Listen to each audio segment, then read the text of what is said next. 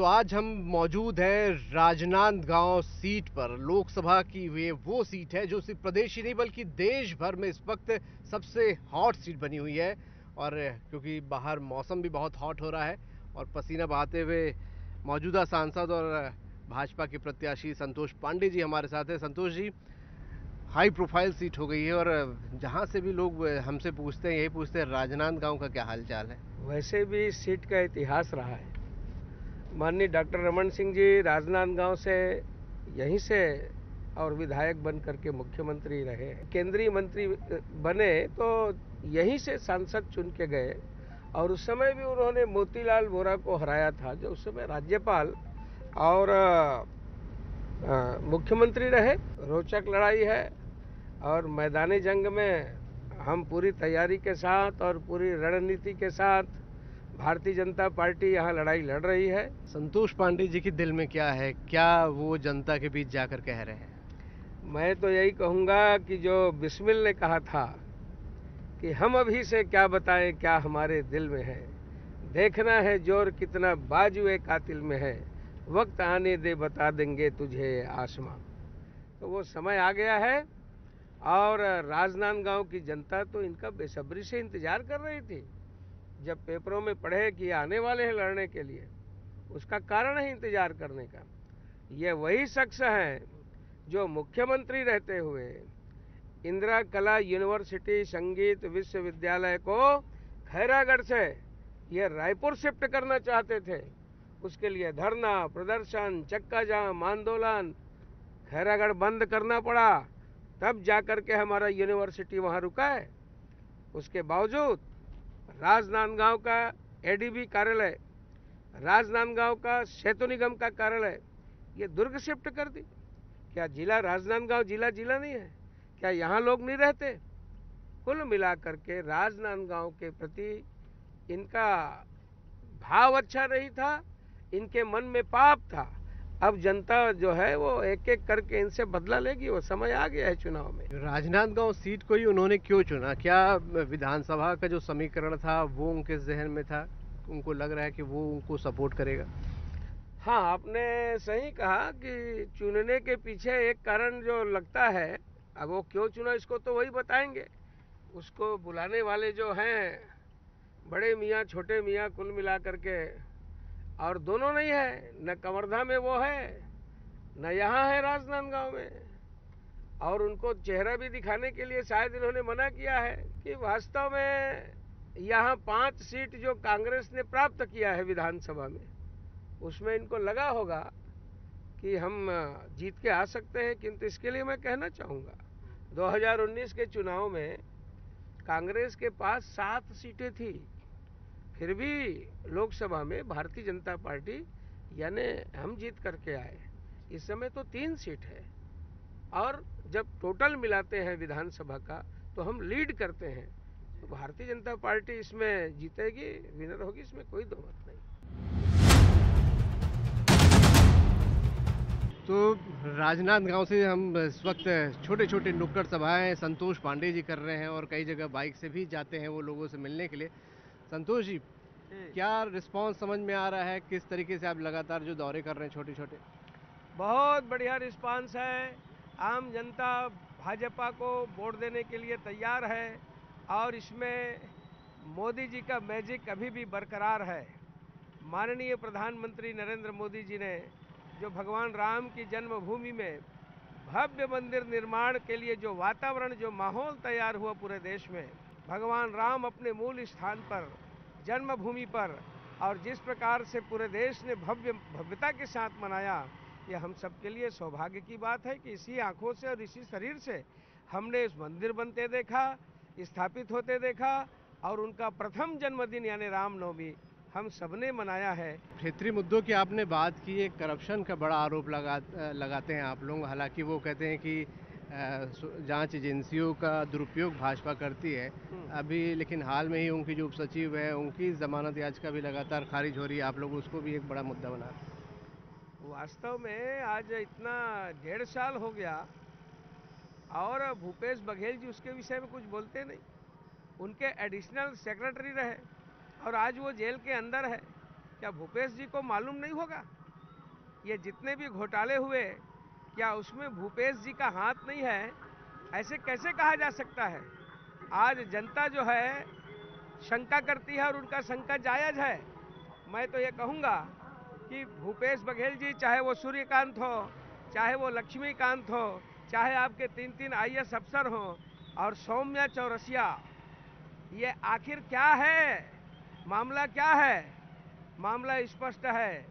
प्रदेश की नहीं, देश की जनता जान चुकी है। कि भूपेश भ्रष्ट है, भूपेश की सरकार भ्रष्ट थी। और एक दो पंक्ति याद आती है इनके विषय में। भ्रष्टाचार रक्त में शामिल कौन वाद प्रतिवाद करे? और अखबारों में पढ़े सुर्खियाँ कौन समय बर्बाद करे? ये भूपेश के विषय में। क्योंकि शराब, सट्टा, सौम्या, ये आखिर क्या किया इन्होंने? पूरे छत्तीसगढ़ को बर्बाद कर दिया। एक अभी बयान भी हाल में आया था, नक्सली बड़ी मुठभेड़ हुई है। उसमें हालाँकि उन्होंने पहले फर्जी कहा, बाद में उन्होंने कहा कि नहीं, मेरे बयान को तोड़ मरोड़ कर पेश किया गया। आपको ध्यान होगा कि राजनांदगांव में ही और यहाँ मानपुर के जंगलों में, ताड़मेटला में और हमारे एसपी शहीद हुए थे। तो इनको जो है ये, जो हमारे प्रहरी, हमारे सैनिक, हमारे पुलिस के जवान ये जब शहीद होते हैं तो तो कुल मिलाकर के ये ये आखिर कहना क्या चाहते हैं? मेरा तो कहना ये है, नक्सलियों को जो मारा गया है, ये हमको गर्व है। भूपेश जी के समय तो ऐसे होता नहीं था। आखिर कहीं ना कहीं वो क्या संबंध है, इसको तो जानना चाहिए। सुरजूराम टेकाम मानपुर का है को अंदर करना पड़ा। एक नहीं, अनेक घटनाएँ ऐसी है, जिसमें इनका जो रोल है, वो संदेहास्पद रहा है। जो झीरम कांड में ये बार बार दिखा करके कहते थे, जेब से कागज़ निकालते थे, ये सबूत मेरे पास है। कहाँ है? पाँच साल में आपने क्या किया उस सबूत को किसी न्यायालय में रखा? क्या है? क्या हुआ है? आज राजनांदगांव की जनता जानना चाहती है कि उदय मुदलियार, कवर्धा अपने राजनांदगांव का जो बेटा, जो सपूत, उनका परिवार और पूरा राजनांदगांव पूछता है, जो उसकी शहादत है। क्या हुआ है, भूपेश बघेल जी? नादगांव आप लड़ने आए हैं? थोड़ा राजनांदगांव की जनता को बताएँ कि आपने वो सबूत पेश किया, गुनाहगार को आपने बताया है क्या? बल्कि रामकृष्ण अस्पताल में चरणदास महंत कवासी लखमा से मिलने के लिए गए थे और गाल में थप्पी मारने का ऐसा इशारा करते हुए उन्होंने कहा था, क्यों रे? तुमने क्या कर दिया? यानी इसका मतलब है कि कवासी लकमा ही उनको झीरम में ले गए थे। क्या है आखिर? ये जो भ्रम है इसको दूर करना चाहिए। राजनांदगांव में क्या भीतर घात भी एक कोई बड़ा मुद्दा है, कांग्रेस हो या भाजपा हो? मैं तो ये कहूँगा कि भारतीय जनता पार्टी में जो हमारा संगठन है, एक बार डिक्लेयर हो जाने के बाद पूरे कार्यकर्ता ताकत के साथ लगते हैं और आज हमारा चिल्फी से लेकर के औंधी तक सभी कार्यकर्ता एक मनोयोग के साथ काम कर रहे हैं। और उसमें भारतीय जनता पार्टी को विजय प्राप्त होगी ये इसमें कहने में मुझे कोई संदेह नहीं है।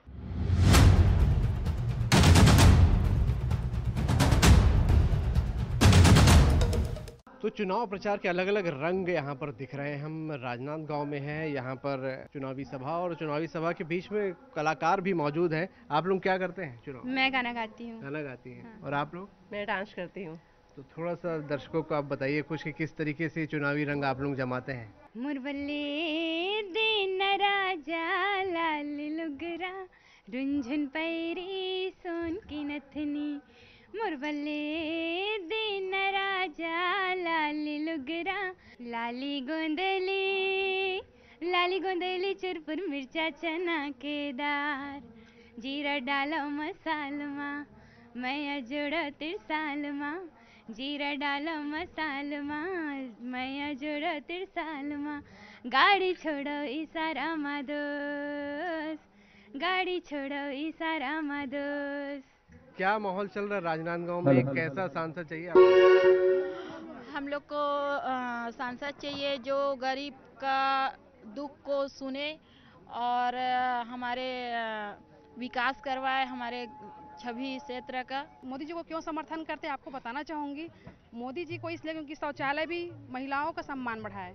गैस चूल्हा दिए, उसमें भी महिलाओं का सम्मान बढ़ा है हर घर शौचालय बनाए और प्रधानमंत्री आवास बनाए और तो और अभी जो महतारी वंदन दिए हैं तो उसमें तो महिलाएँ, पहले तो दो रुपया के लिए आदमी तरसती थी, महिलाएँ जो हैं, पैसे बेटों के ऊपर आश्रित रहती थी। मोदी जी ने दिए हैं तो इसका सम्मान मोदी जी ने ही बढ़ाया है। तो आज हम संतोष पांडे भैया को वोट देंगे तो मोदी जी को वो वोट मिलेगा। संतोष पांडे जी आए हैं ना वो अच्छा व्यक्ति है और महिलाओं के बारे में भी सोचती है वो और सबसे जनसंपर्क में भी अच्छे से बात बात कर रही है और कांग्रेस वाले आते हैं ना समय देते वो समय नहीं आते हैं। उन लोग ना रात में जैसे आठ बजे समय देते हैं तो वो दस बजे आते हैं। वो लोग खुद छुप छुप के आ रहे हैं और संतोष पांडे भैया एक खुले आम आ रहे हैं। भूपेश बघेल तो सबसे मेन बात लग रहा है।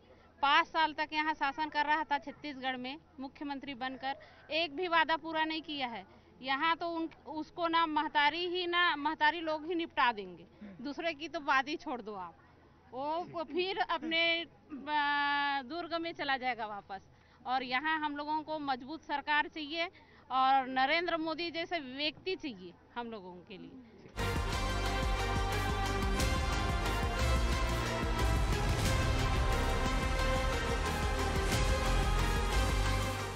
तो देखिए चुनाव प्रचार गर्मी बहुत ज़्यादा पड़ रही है। संतोष पांडे जी हमारे साथ हैं। संतोष जी क्या ये खरबूजा वगैरह खाकर मेंटेन रख रहे हैं? फ़िलहाल गर्मी में प्रचार जो रहा है। ये आप सही कह रहे हैं। वैसे हमारा जो शिवनाथ का जो क्षेत्र है यहाँ तरबूजा खरबूजा सब होता है। गर्मी के दिन में भरी दोपहरी में यही है जो शरीर के तापमान को मेंटेन रखता है। शरीर का तापमान तो मेंटेन कर रहा है लेकिन राजनांदगांव का तापमान लगातार बढ़ता जा रहा है। प्रचार प्रसार आप लगातार यहाँ पर कर रहे हैं। क्या लग रहा है कि कौन से मुद्दे हैं? राष्ट्रीय मुद्दों पे चर्चा हो रही है, राम मंदिर को लेकर चर्चा हो रही है, या पिछले विधानसभा में आप लोगों ने कई मुद्दे उठाए थे, सरकार को लेकर, मौजूदा सरकार जो उस समय थी, वो उठ रहे हैं। इसमें दोनों हैं। देखिए, हमारा जो छत्तीसगढ़ है, वो कौशल प्रदेश है। कौशल यानी कौशल्या, यानी राम को भांचा मानते हैं हम लोग।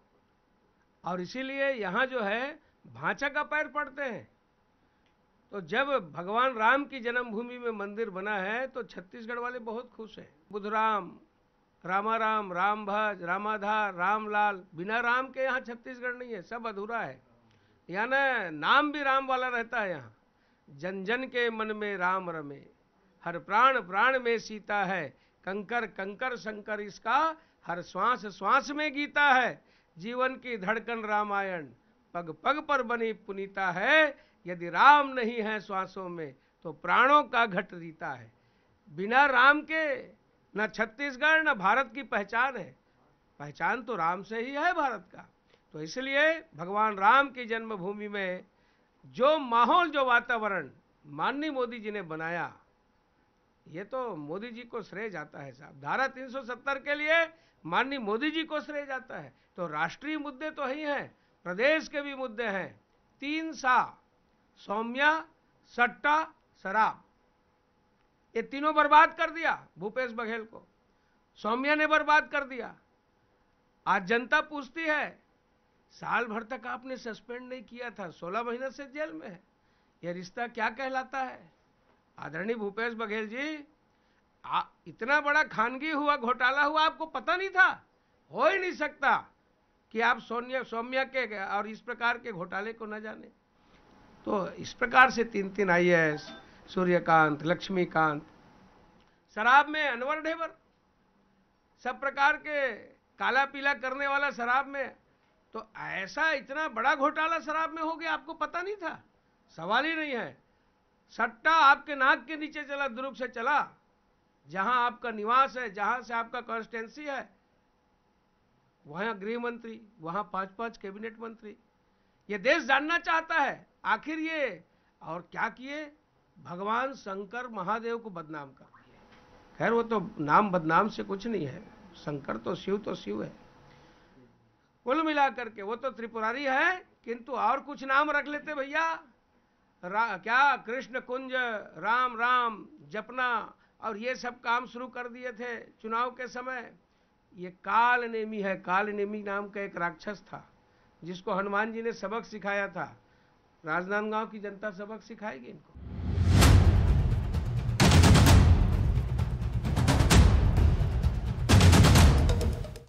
पाँच जो विधानसभा खास तौर पे आठ में से कांग्रेस के पास है, उसको लेके क्या आप लोगों की रणनीति वो उधर गई है। पाँच विधानसभा में हमारे कार्यकर्ता मानपुर, मोहल्ला खुज्जी डोंगरगांव, डोंगरगढ़ में इस समय हम अपनी केंद्र की योजनाओं को लेकर के और जा रहे हैं और ये जो सरकार पूर्व में जो रही, इन्होंने केंद्र की सभी योजनाओं में अवरोध पैदा किया। हमारे आयुष्मान कार्ड में, हमारे प्रधानमंत्री आवास में, यानी साठ चालीस का रेशो है, इनको बड़ा ये हो गया कि इसमें प्रधानमंत्री का नाम है। और 18 लाख मकान जो बनने थे, जो आवास बनने थे, इन्होंने बनाने से मना कर दिया। यही तो इनके हटने का एक कारण ये भी है। गरीब कल्याण योजना के तहत यहाँ चावल दिया जा रहा था। उसमें भी इन्होंने कटौती करने का काम किया। प्रधानमंत्री जी की जितनी योजनाएँ हैं, वो वास्तव में पूरे देश के लिए, गरीबों के लिए, मजदूरों के लिए, माताओं के लिए सर्वस्पर्शी और सर्वव्यापी योजनाएँ हैं।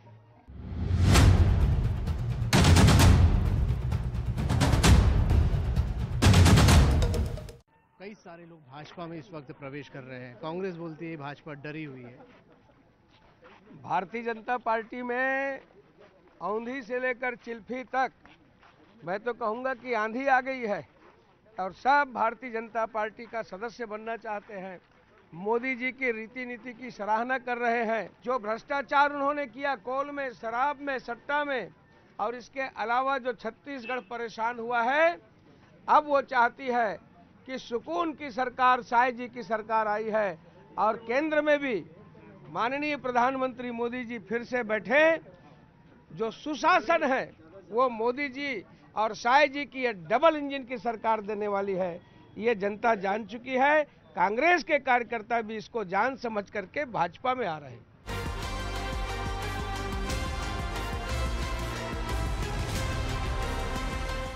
तो लगातार चुनाव प्रचार के बीच में अब भोजन का समय। संतोष जी, भोजन कार्यकर्ताओं के साथ। दोपहर का भोजन ग्रामीण कार्यकर्ताओं के साथ, महिला मोर्चा, युवा मोर्चा और पार्टी के सभी क्षेत्र के, गाँव के कार्यकर्ताओं के साथ ही भोजन होता है। और पंगत का बड़ा आनंद है। अपने लोग कहते हैं ना कि संगत और पंगत कभी नहीं छोड़ना चाहिए। तो इसमें रोज दोपहर का भोजन ऐसी होता है और इसका बड़ा आनंद है अपने आप में। कार्यकर्ता कितने इम्पोर्टेंट हैं? आप चुनाव लगातार लड़ रहे हैं। कांग्रेस के भी जहाँ थोड़ा विरोध देखने को मिल रहा है और एक तरफ़ भाजपा कार्यकर्ता कितने इम्पोर्टेंट हैं? वास्तव में ये वही कार्यकर्ता हैं जो धूप में गर्मी में ठंड में बरसात में और हमेशा पार्टी के लिए कार्यक्रमों के लिए क्षेत्र में काम करते हैं। बैठकों में सब प्रकार से कार्यक्रमों को सफल बनाने का काम करते हैं। कार्यकर्ता तो देवतुल्य है और भारतीय जनता पार्टी में तो कार्यकर्ताओं का और भी बहुत बड़ा महत्व है।